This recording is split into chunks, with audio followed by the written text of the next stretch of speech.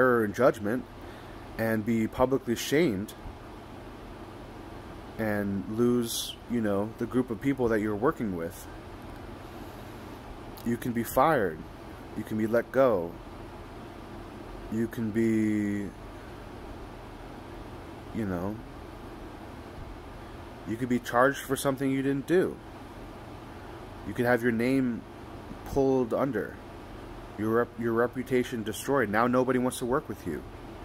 And it, it doesn't even have to be like one thing. Like, I almost believe that, like, let's say you had, let's go back to the example of having a business, a thriving business, and $100,000 put away for whatever reason, which I wouldn't do because I would always be spending the money that I have. But anyway, let's say that that happened, right? Let's say all in one day, in one foul swoop, you lose your business and you lose the $100,000 that you've saved, okay? That would be a pretty devastating blow. But the nature of devastating blows is that, you know, they're so strong at least in you know this is how some people can re react i imagine i imagine that i would react in this way it's so powerful and instant that uh, you know it really makes you you know you see stars and you um, it really makes you in that moment uh, re-examine everything in your life and in that way it can actually be a be a profound you know boost for you and you could change course and and and learn some dramatic lessons. Now, conceivably, that should be the case for every obstacle that comes in your path, right? But um, that's I'm just saying that you know, let's say something really big happens, that that can be helpful. But but let's say it, you know, it doesn't happen in one foul swoop. That's that's really what would concern someone like myself. So let's say I slowly lose my business. And then I lose the other business that I had, you know, a few years later. That was my backup. And I'm now down to $50,000 from $100,000. And then a few years later, I'm down to $20,000. And now I have nothing. And all this happens over the course of a few years. So that is the slow grinding, which you might say is worse. I would say that's that's worse in some ways. I'd, I'd rather it, it all just disappear in one foul swoop. But all these things could happen, and all these things are obstacles that we might face. And uh, like I said, some things might seem pretty, you know, losing a friend, that's pretty emotional. Um, let's say, you know, your romantic partner leaves you. That's pretty emotional. That's a big deal for you to go through. But on this, you know, it might not be as obviously difficult to everyone as being maimed or being killed. Oh my gosh, did you hear about Theo? He died in that fire. I can't believe it. He he had so much to live for. The poor thing. You know, he had a thriving business, and he here he he's in he ends up dead in a in a fire. My gosh. You know. Some people think that there's no return from that, but as it happens, life goes on.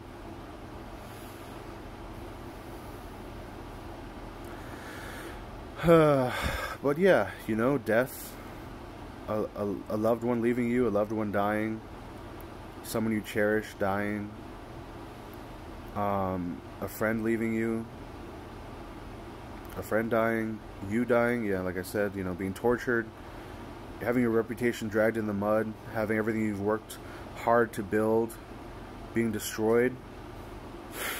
Any kind of obstacle might come your way. And the thing about it is, and this is something that I um,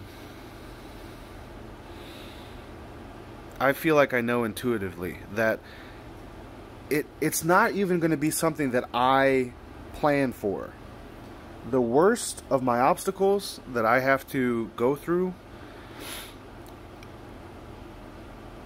uh, the worst ones are the ones that I have not even imagined or preconceived.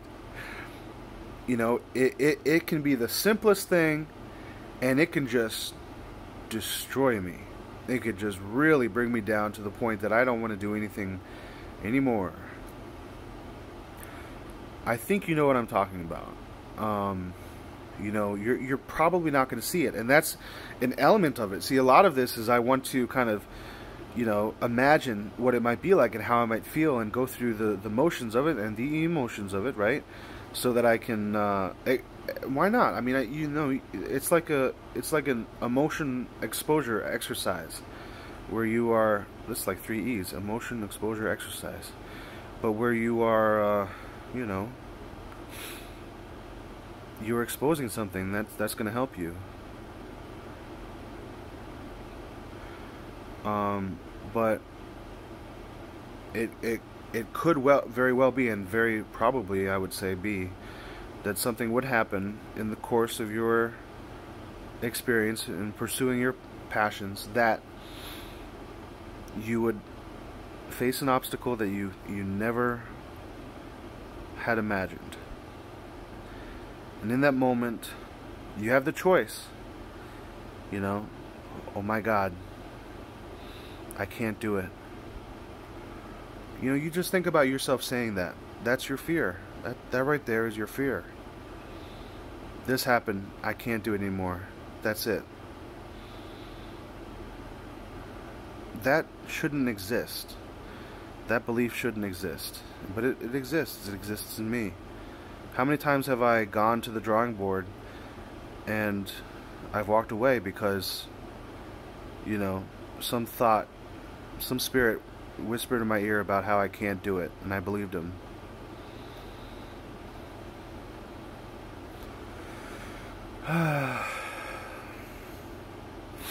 so why am I sharing all of this with you? I'm not sure there's there's this little burning feeling that I have that I often feel when I'm coming to the close of my videos where I feel that uh, there's just one more thing that I need to get through to people.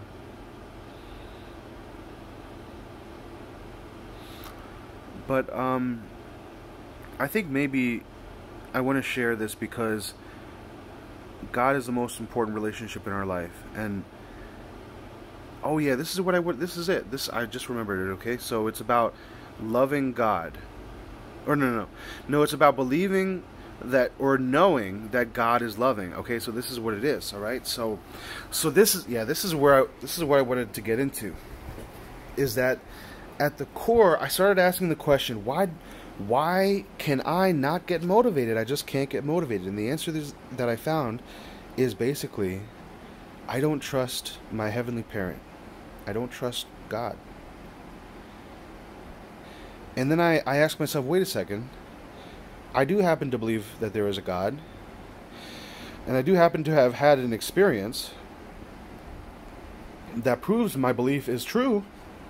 So you might say that it is no it is not so much a belief as it is knowledge. All right? And that experience that I had was receiving some of God's love. I've had a few of those experiences. Um, so you would think that having these beautiful, you know, soul enriching moments, you know, all to myself in my life would be enough to believe that God is a perfect, beautiful being abounding with love. God is all love, and there's no anger, rage, treachery, or hint of betrayal in God. You would think that I believe that. Turns out I don't.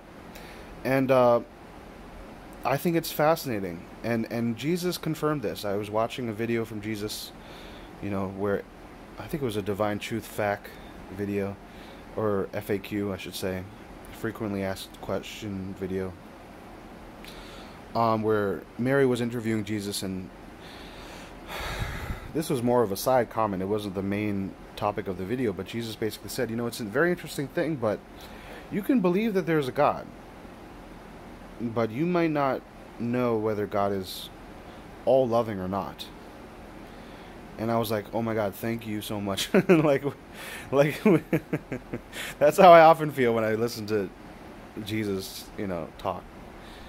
I'm like, "Oh yes, yes." You just said something that I've, I've been, you know, I've been I've been locking in a treasure chest in my heart for so long, fearful to expose it to the light because someone might take it away from me. You just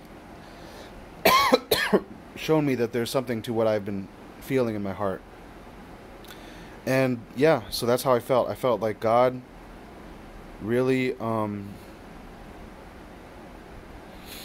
I don't know I don't know for a, for a fact in my heart that God loves me completely. I believe God might be the Wizard of Oz, where I, I think I've said this before, where God is, you know, about to, you know, he's behind a curtain and he's he's got a lot of uh, great, you know, magic tricks to suggest that he's really something. He's real something, and he'll even he'll even give you this feeling that you know he loves you, which is a beautiful feeling. It, it's like nothing you've ever had. And if I were to think about, you know, if I were to try and go back there in my memory, I mean, it really is beyond words. It truly is beyond words. I can use words like bliss, joy, elation, and all of those words don't even touch it I I have not read about this anywhere. I've heard of people speaking to it as far as it being like this. It's usually something you can see in someone's eyes or you can hear in someone's tone. It's not so much the words they say. It's kind of the patience that they have with the idea.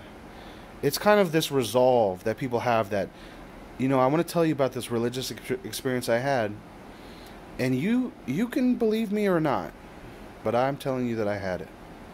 It's that kind of resolve that tells me something happened to that person. Something really happened to them. That's that's what it is. It's something very very deep. It it's like I said, it's it's soul enriching. And I realize that it doesn't make logical sense that God would provide this beautiful thing to us, which is it's just a feeling. It's no more than that. But if you really think about it, if you think about the fact that we lead our lives by feelings, then feelings are more important than you might imagine. If you're on the fence about feelings. But we, we yeah, we lead our lives by feelings. But if God could provide this beautiful soul enriching feeling, this soul enriching experience, then how can you imagine that God might ever betray you or have anything but love to share? Well, I'm just saying, being being as it may, you know, that being what it is, my experience being what what they have been, I still doubt God and I still mistrust God, and I feel like that is an, that's an important thing to understand.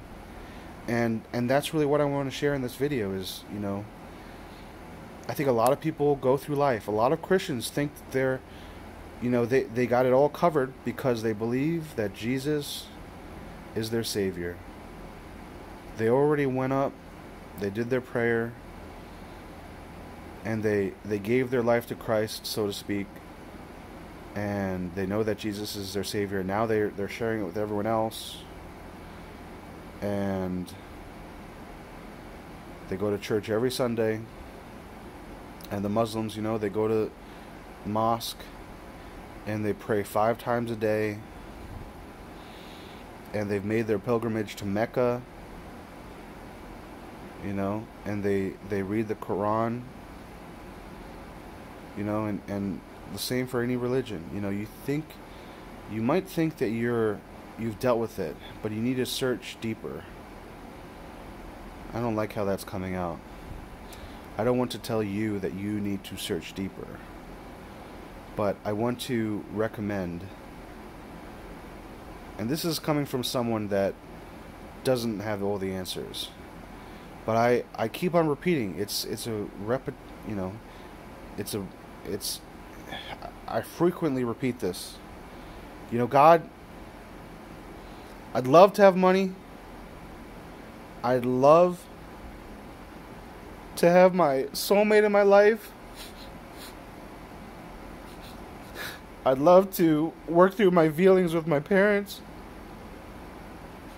I'd love to have a job that I love. I'd like to know who my soulmate is, at the very least. I'd love to be not overweight. I'd like to be not skinny, but I don't want to be flabby. I want to have hair on my head.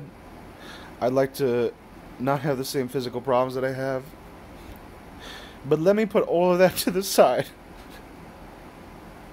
and ask you for one thing.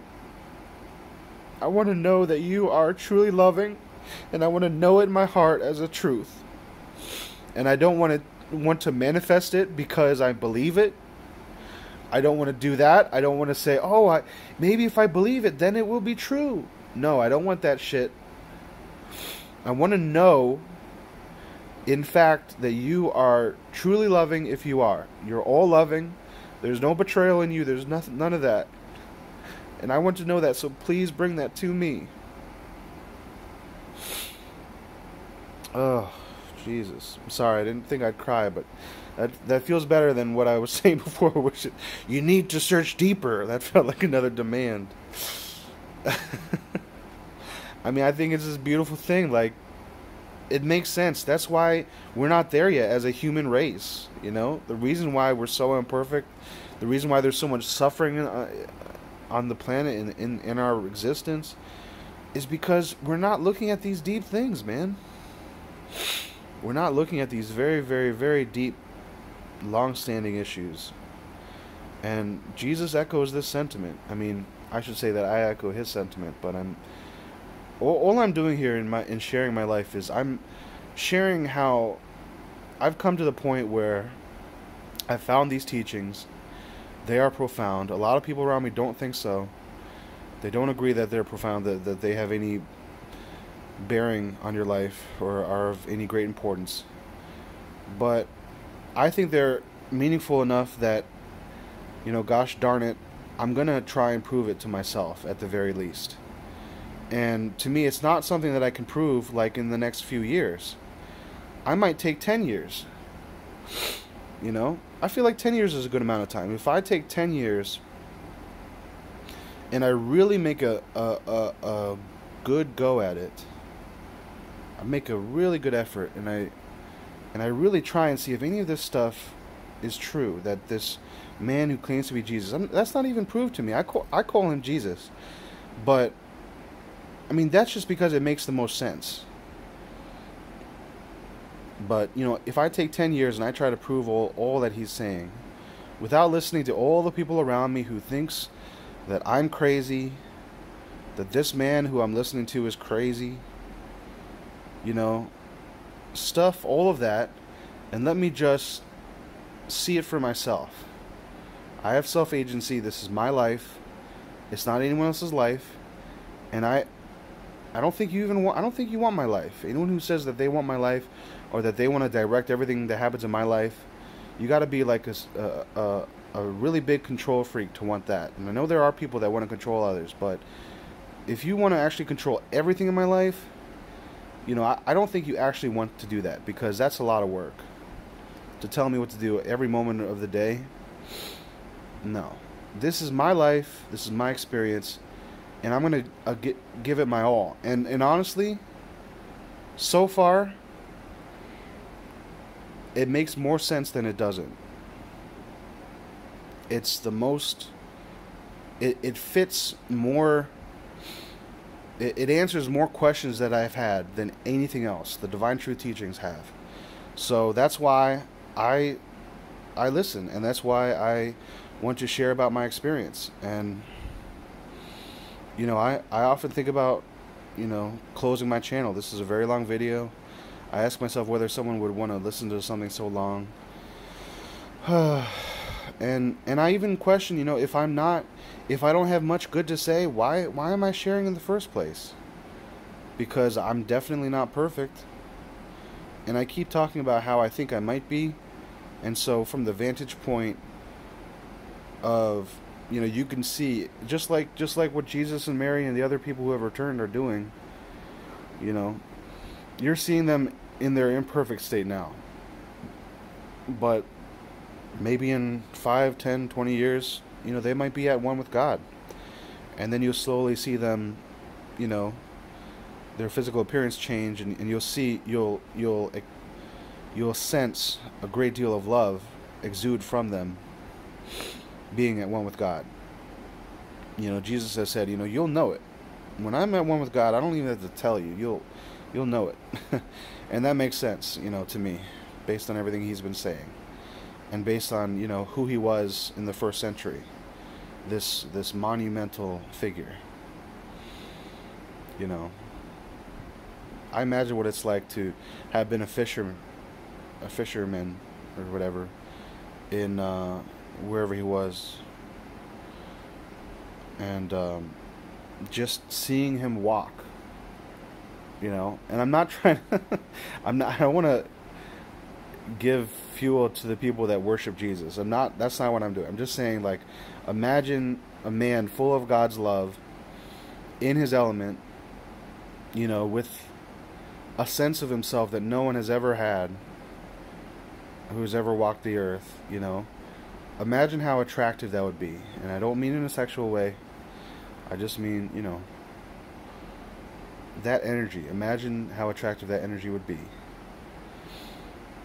So, yeah, if I could have that, that would be great. Thank you very much. But, uh, yeah, so, an hour and six minutes. Didn't think I'd go so long. I haven't. I honestly thought that I'd go like 12 minutes. If I can keep it down to like you know under 20 minutes, that would be good. It didn't happen, but uh, even though it was a circuitous